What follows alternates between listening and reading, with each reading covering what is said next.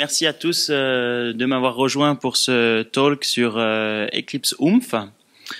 Donc euh, aujourd'hui c'est le, jour de la release d'Eclipse Neon, donc je suis assez content de, faire ce talk aujourd'hui. Alors Oomph, je vais pas vous expliquer ni d'où le nom vient, ni pourquoi ça s'appelle comme ça. Les créateurs du projet ont donné des talks qu'on peut trouver sur YouTube et à vrai dire, j'ai pas encore vraiment compris la subtilité du truc, donc euh, voilà. En tout cas, il faut savoir que ça s'appelle Oomph ou Eclipse Installer. En fait, c'est la même chose. Il y a un peu de marketing de la fondation Eclipse. Euh, Oomph, c'est plutôt la technologie, le projet, et puis euh, Eclipse Installer, c'est ce qui est affiché, euh, on va dire, en grand pour l'utilisateur final, mais c'est la même chose. Et l'objectif de ce projet, c'est d'obtenir un IDE Eclipse qui soit prêt à, être utilisé, donc euh, tout d'installer, de préparer pour, euh, s'en servir, pour, les équipes. Euh, j'ai encore une petite slide avant de passer à la démo pour dire qu'il y a un mode, un mode avancé. Donc, ce que je vais montrer après, c'est le mode avancé. Donc, si vous voyez quelque chose comme ça, il suffit de cliquer sur Advanced Mode et puis et puis voilà. donc, voilà à quoi ça ressemble quand on quand on l'a euh, quand on l'a ouvert, quand on l'a chargé. Premier écran, on va choisir euh, l'Eclipse qu'on veut. Donc là, je prends Eclipse pour euh, Java Developer.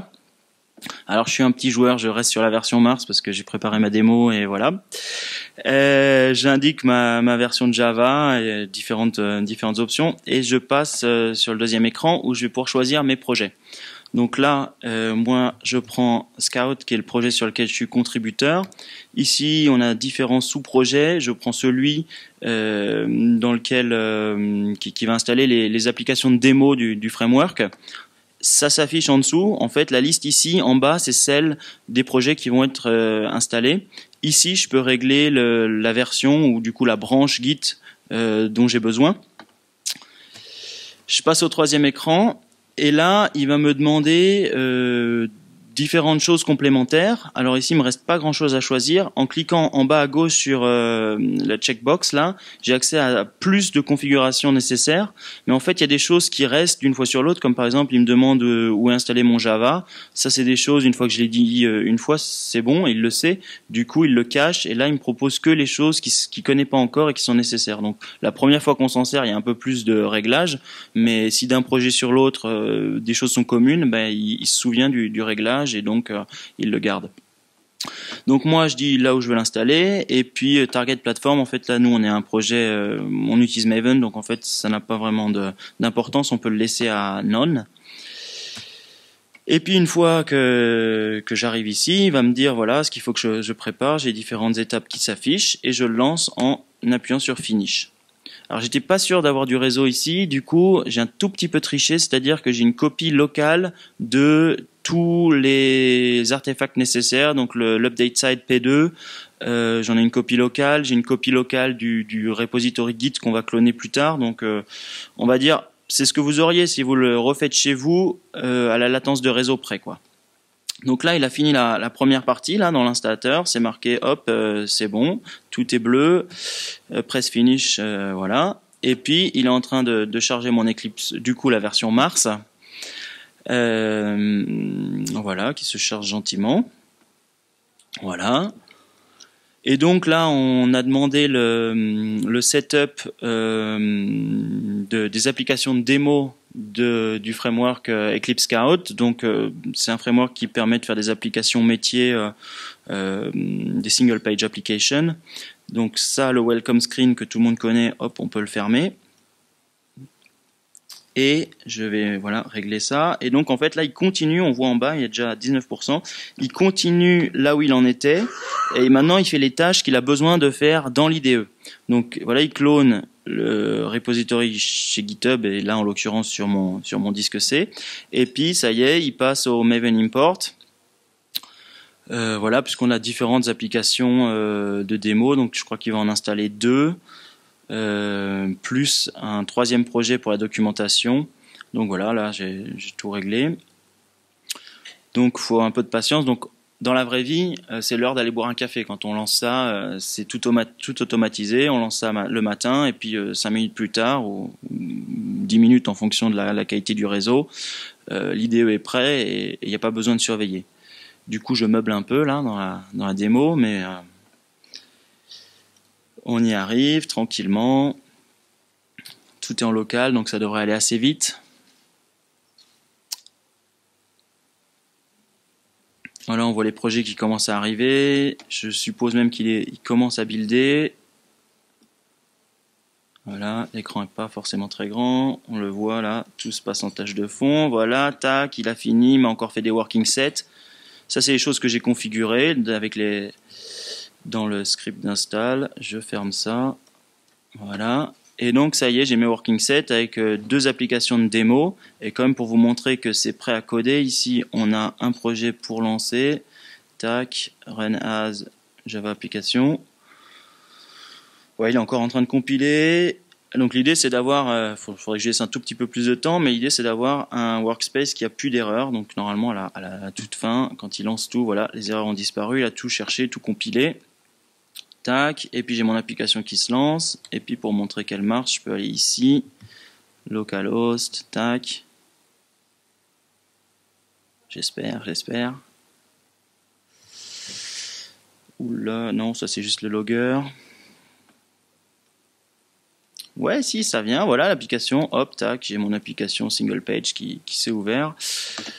Voilà, donc ça marche. Et puis là, je suis prêt à coder euh, sur le projet, envoyer des, pull requests euh, et ainsi de suite. Tout, tout, est, tout, est, tout est bon. Du coup, euh, je repasse à la présentation pour expliquer un peu comment ça fonctionne. Donc il y a des concepts, il y a trois concepts importants que, que je, vais, que je vais tenter d'expliquer. Le premier, c'est les setup tasks. Donc j'imagine que si vous êtes là, vous êtes quand même utilisateur d'Eclipse, ou au moins vous connaissez. J'imagine que vous avez déjà fait ça manuellement euh, pour vos projets. Voilà, il faut différentes versions de Java. Donc euh, je dois ici installer une JRE dans mon workspace. Donc ça c'est le, le, rôle de la JRE task. Elle va venir installer les les versions de Java dont j'ai besoin pour mon projet. Pareil, j'imagine que vous avez tous déjà édité euh, le fichier eclipse.ini pour, euh, par exemple, donner un peu plus de mémoire ou différents autres réglages qui sont pas par défaut, qu'il faut toujours ajouter à la main. Il y a une tâche pour le faire. Il y a une tâche pour créer des, fichiers n'importe où dans le workspace. Parfois, ça peut être utile ou nécessaire. Et puis euh, il y a une tâche pour euh, cloner les repos Git. Donc on a vu tout à l'heure, on a fait un checkout. Et ben voilà, il y, a une, tâche qui, qui, fait ça. Il y a une tâche pour installer d'autres plugins. Il y a une tâche pour faire des réglages dans les préférences. Enfin, en gros, tout ce qu'on avait l'habitude de faire manuellement, il y a une tâche pour ça. Donc une fois qu'on a les tâches, maintenant il faut comprendre d'où elles viennent. Donc pour ça, il y a la notion de scope. Et il y en a trois des scopes. Donc il y a installation. Si vous vous rappelez, au début, là, dans la, dans la démo, j'ai choisi Eclipse pour euh, Java Developer. Donc ça définit un certain nombre de choses qui vont être installées. Ensuite, il y a le scope du workspace. Donc c'était le deuxième écran dans l'installeur. J'ai dit dans mon workspace, je veux ce projet. J'aurais pu en sélectionner plusieurs, dans telle version, etc. Euh, donc, euh, ça, définit un nombre de tâches à, effectuer. Et puis, le truc que je trouve presque le plus important, c'est user. Euh, ça, c'est pour toutes les, petits réglages d'Eclipse qui, vous sont personnels. Donc l'exemple qu'on donne toujours, c'est euh, est-ce que vous voulez afficher les, numéros de ligne dans l'éditeur Java? Oui, non. Bon, en fait, tout le monde s'en moque, mais euh, si, le, si le, le, comportement par défaut vous plaît pas, ça fait partie des trucs quand vous arrivez sur un sur un nouvel Eclipse, tac, vous devez aller le changer. Euh, moi, il y a une tonne de trucs. Euh, qu'est-ce qui se passe quand je fais un contrôle space Où est-ce que j'ouvre les fichiers HTML Est-ce que j'y veux dans le dans le browser d'Eclipse ou dans le browser le vrai? A une tonne de trucs qu'il faut toujours aller rechanger. Et ça, en fait, typiquement, c'est des choses qui sont pas euh, spécifiques au projet, qui sont juste moi la manière dont je veux utiliser Eclipse. Donc ça, je les mets dans mon scope user. Et euh, le truc qui est nouveau là euh, avec Neon aujourd'hui, c'est à partir d'aujourd'hui, c'est on peut synchroniser son scope euh, user, son profil, on peut synchroniser sur les serveurs d'Eclipse. Comme ça, si j'ai plusieurs ordi, hop, je peux. En fait, c'est un simple fichier XML, mais au moins il est stocké quelque part. Je reprends ces réglages sur eclipse.org et puis il va me les, il va me les rechercher et me les réimporter.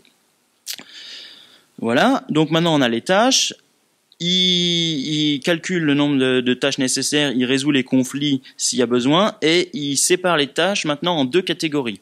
Il y a les tâches qui doivent être faites à l'extérieur d'Eclipse, typiquement au niveau de l'installateur qu'on a vu. c'est le bootstrap, et il y a les tâches qui sont faites dans Eclipse. Tout à l'heure, on a vu, dès qu'il a lancé Eclipse, il a continué le, setup. Et donc là, il y a deux triggers. Le premier, c'est Startup qu'on a vu euh, au moment du lancement. Et si jamais j'avais besoin, euh, de manière manuelle, je peux euh, demander de réexécuter le setup si jamais, pour une raison ou une autre, j'en avais besoin. Donc en image, Bootstrap, c'est donc l'installateur au début qu'on a vu. Startup, voilà, c'est dès qu'il a ouvert le, l'Eclipse, il va, il va continuer le setup. Et puis manuel, euh, c'est dans les menus, au niveau des menus, soit dans la taskbar, soit euh, ici dans le menu Help. On peut lui demander de relancer le setup. Du coup, voilà comment ça fonctionne et euh, quelle influence ça a sur les installations Eclipse? C'est un autre point qui est important de comprendre. Si vous avez déjà téléchargé le zip d'Eclipse et vous l'avez décompressé, voilà à quoi ça ressemble, vous reconnaissez, il y a le Eclipse Exe, il y a différents euh, dossiers, peu importe. Et là où l'équipe de Oomph a été une approche intéressante, c'est qu'ils ont reséparé les différents concepts derrière ce zip. Et c'est pas des concepts qu'ils ont développés eux, ça existe déjà, euh, c'est des technologies Eclipse, mais ils ont reséparé les choses proprement, et du coup, ça permet de partager le bundle pool. Donc bundle pool, ça va être le repository où ils stockent euh, les jars, euh, donc les, plugins, les features Eclipse. Elles sont partagées. Du coup, si pour une deuxième installation j'ai besoin de SWT dans la version euh, néon, eh ben euh, il va pas aller la rechercher, mais il l'a déjà, il se rend compte qu'elle l'a déjà, elle n'a pas changé, donc euh, il la télécharge pas, il la prend dans mon bundle pool. Du coup, avantage phénoménal, c'est une installation Eclipse. Normalement, ça fait plusieurs centaines de mégas en fonction de ce que vous prenez. Bah là maintenant il y a presque plus rien dedans, donc euh, il y a un peu de métadonnées et puis euh, un installateur, un, un, starter.exe, euh, voilà. Du coup, ça on passe à moins de 20 mégabytes. Et puis il y a l'agent P2 qui va synchroniser tout ça, gérer les transactions, rollbacker si ça s'est mal passé, tout ça. Bon, j'entre pas dans les détails, mais en gros c'est ce qui, ce qui fait le lien.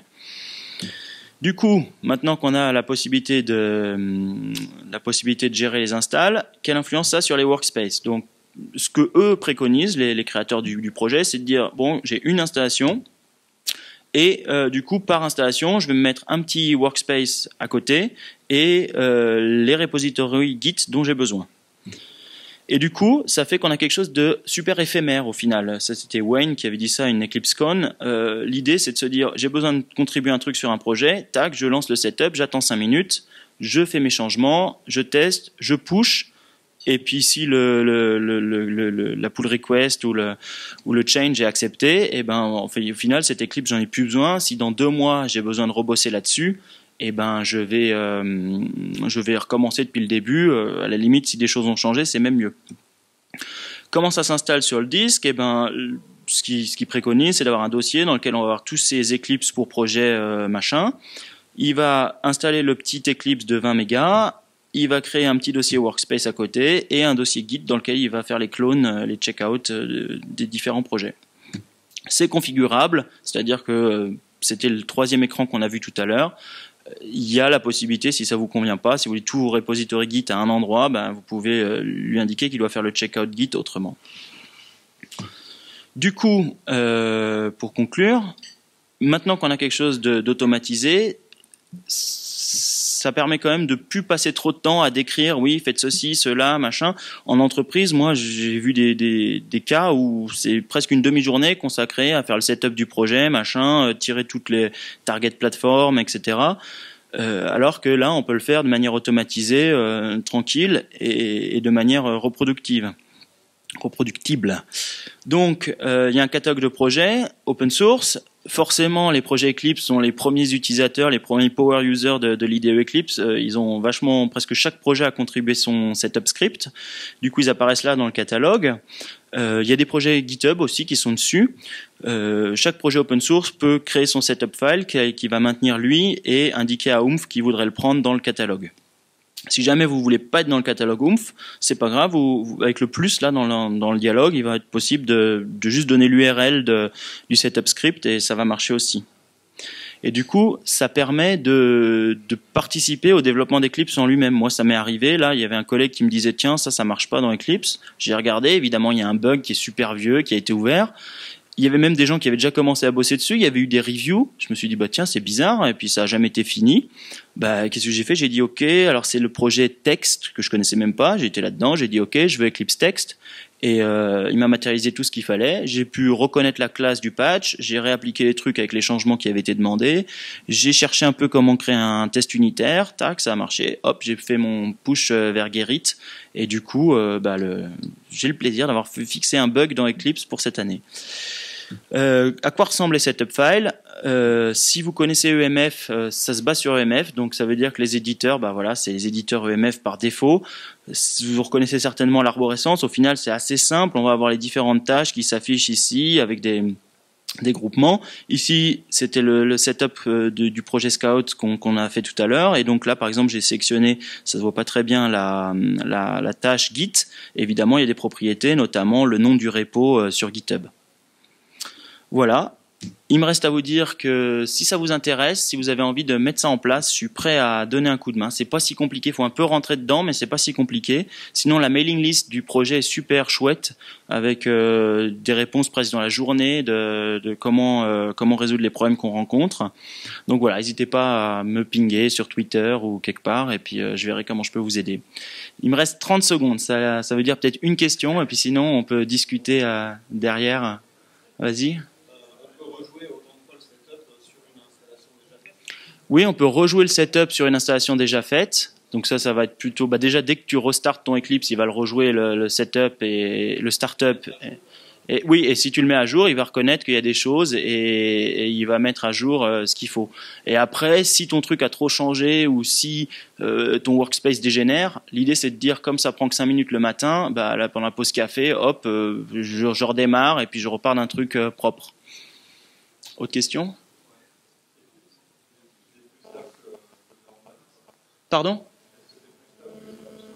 Ah bah non, c'est l'Eclipse normal. Est-ce que c'est plus stable? Non, enfin, c'est juste un installateur.